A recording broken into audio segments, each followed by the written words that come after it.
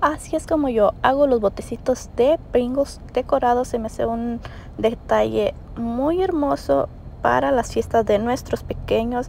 A nosotros que nos gusta tener las mesas de postres bien decoradas. Bueno, esta es una hermosa opción que se puede guardar como recuerdo.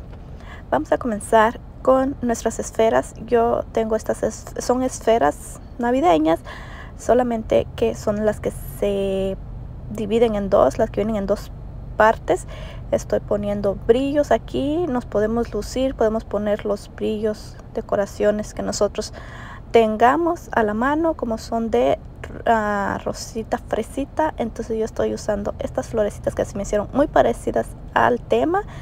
Enseguida vamos a poner el nombre o también podemos poner algún dibujo del tema.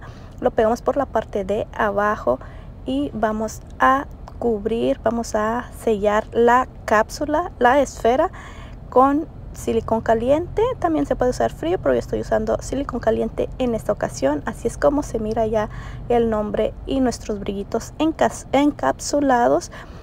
El siguiente paso es a hacer más flexible este borde que va en la orilla.